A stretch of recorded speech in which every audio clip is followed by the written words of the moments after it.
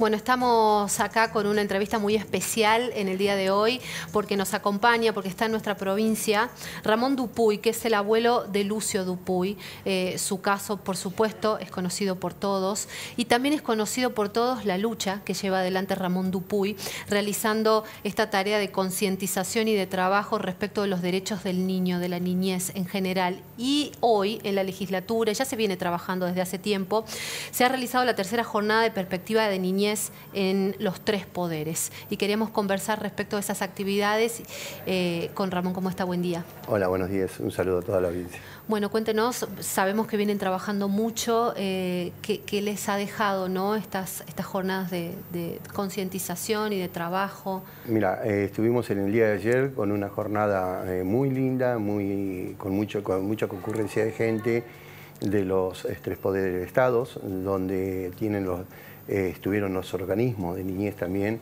eh, escuchando la exposición que hicimos ahí en la legislatura de, aquí de Tucumán. Sí. Eh, bueno, muy, muy, muy buena recepción y bueno, la voluntad de trabajar, como siempre lo digo, ¿no? de Tucumán, que fue una de las primeras y pionera, y ojalá fuera la que pegue el puntapié inicial, ¿no? Mm. Sobre esto, que ya lo ha hecho.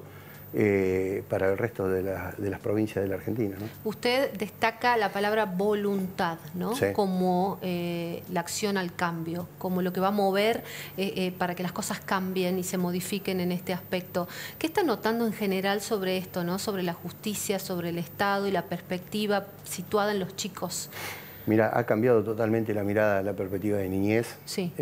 ha cambiado hoy, hoy por hoy no vamos a decir eh, los ojos más grandes, sino mucho más ojos eh, mirando a los niños mm. de nuestra Argentina. Entonces, Tucumán fue la, que, la, primera, ¿no? Eh, donde tiene esa mirada de la perspectiva de niñez que tanta falta le hace a los chicos. ¿Qué pasa cuando no está esa perspectiva? ¿Y qué cosas cambiarían con esa perspectiva más clara y en esa dirección? Pasa lo que le pasó a Lucio, eh, en su momento y a 98 chicos más después de Lucio. Eh, viene el descuido del Estado completo, eh, donde no, tienen, no, tuvieron la mirada hacia a los niños y bueno, terminó en, el peor desenlace, ¿no? el asesinato de Lucio y 98 chicos más después. Eh, la semana pasada hablábamos con Fátima Silva, que trabaja con usted justamente, y ella mencionaba esto de que un niño ya es una víctima cuando ingresa al Poder Judicial. Eh, más allá de que sea un desenlace triste o no, como lo que ocurrió con Lucio, pero ya un niño en ese contexto de, abogados, de justicia, de definiciones de adultos, ya es una víctima, ¿no? Por supuesto, porque los niños no, no, piden ir a, un, este, como es, a un tribunal o a una defensoría ya ahí está siendo vulnerado en sus derechos. En la Convención Internacional de Niños, Niñas y Adolescentes, que se firmó en el año 94, eh, eh, hay una frase que, para mí es hermosa y la replico en todos lados, los derechos del niño están sobre todas las cosas de la naturaleza. Cuando un niño es judicializado, ya le estamos vulnerando los derechos del niño. Mm, totalmente. ¿Cuánto, ¿Cuánto ha cambiado para usted, Ramón? Yo se lo preguntaba recién, eh, estos últimos años, ¿no? Porque había una vida diferente antes de este episodio tan triste, tan horrible. Mira, cambiar, eh, hoy te vuelvo a repetir, eh, hoy eh, mucha gente está sobre la mirada de los niños. Sí. vuelvo a repetirte, no hay que abrir más los ojos, sino poner muchos ojos en la, vulnerabilidad de los chicos. Y ha cambiado, sí. después del caso de Lucio ha sido un quiebre de esto. El caso de Lucio fue una bisagra donde bueno, se abrieron muchas puertas y mucha gente empática, donde pretenden eh, y quieren eh, comprometerse en, la perspectiva de niñez. Sí. Le pregunto a usted, en lo personal, eh, lo ha cambiado también mucho, ¿no?, esta historia. Te contaba fuera del aire, yo soy, yo vivo y trabajo con un carrito pochoclero en La Pampa, bueno, y esto me conlleva a, a trabajar para los niños, me cambió, sí, totalmente la vida. Sí, tiene una agenda apretadísima en los próximos días? Eh, mira, eh, creo que hasta marzo del año que viene vamos a estar recorriendo toda la Argentina, Chile, Paraguay, Uruguay, Brasil y El Salvador. Estamos invitados para ir a presentar la ley, Lucio, en los países vecinos para que queremos que sea latinoamericana, cubrir todos los chicos de Latinoamérica y Argentina. ¿Qué respuestas vienen teniendo, acercamientos con el gobierno a nivel nacional? Eh, total, un compromiso muy grande eh, a disposición de la, Asociación Lucio Dupuy para trabajar en conjunto. Es más, estamos trabajando conjuntamente con la CENAF, con Capital Humano, eh, con el ministro Pablo de la Torre, que vamos a salir a recorrer toda la Argentina eh, para eh, ver dónde se puede abrir las, eh, los CDI y la Asociación Lucio Beldupuy. Le quería preguntar, porque lo conversábamos también fuera del aire, ¿no? ¿Qué nota con respecto a, la crianza hoy de los niños, los adultos hacia los niños, ¿no? Venimos acostumbrados a ciertos modelos donde la autoridad, el rigor, incluso el maltrato físico, habían estado muy naturalizados. De a poquito se va cambiando. ¿Cómo lo vive usted? Mira, eh, sí, lo comenzábamos, conversábamos fuera del aire. El tema es de la crianza, el diálogo entre los progenitores y la criatura tiene que existir. No tiene que sentir eh, el chico que eh, los papás son autoridades, sino simplemente una crianza sana. ¿Eso se logra de qué manera? Hablando y poniendo un poquito el corazón. ¿Eso falta hoy? Todavía falta mucho, pero ha cambiado.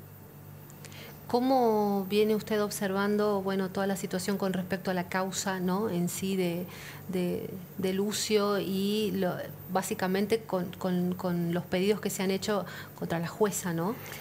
Mira, yo sigo sosteniendo y, estamos, está comprobado, la tercera asesina de mi nieto es Ana Clara Pérez Ballester, la jueza número uno de, de Fiscalía de General Pico que sin leer el, expediente entregó a Lucio, a su progenitora, porque yo madre no le puedo llamar, porque eso no es madre, sí su progenitora, eh, sin siquiera leer el expediente.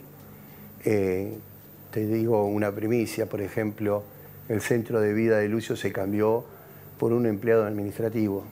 No, no lo firmó ni siquiera la jueza ni la defensora de niños ni adolescentes de Pico. ¿Quién tomó esa decisión? un empleado eh, administrativo. En, en 12 minutos se les cambió el centro de vida a Lucio, que era de General Pico, lo llevaron a 140 kilómetros y al año y tres meses me lo trajeron en un cajón. Claro esto da la pauta de que no había ninguna persona primero formada, capacitada, interesada, que haya leído el expediente como corresponde. No, no porque si eh, la jueza cometió muchísimos gravísimos errores. Por ejemplo, los niños, eh, en el inciso 3 de, la Convención Internacional de Niños, tiene que ser escuchado. A Lucio nunca se lo llamó. Si bien Lucio tenía cinco años, pero se expresaba eh, con sus palabras perfectamente. Los niños hablan con la voz, con el cuerpo, con un gesto, con un dibujo. Los niños hablan y los niños deben ser escuchados, no deberían ser escuchados. Se argumentó en La Pampa que como Lucio tenía cinco años, era muy chico y no podía expresarse, hablar, y yo eso sé que es mentira. Lucio hablaba bien, al año y tres meses hablaba perfecto y sabía su decisión. Si Lucio le hubiesen preguntado, ¿con quién querés estar? Le hubiese dicho con papá y abuelo. Eso es eh, segurísimo.